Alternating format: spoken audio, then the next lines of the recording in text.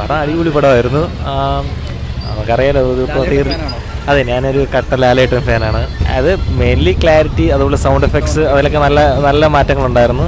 അവസാനം നമുക്കൊരു കട്ട നല്ലൊരു മെസ്സേജ് വരെ കിട്ടുന്നുണ്ട്.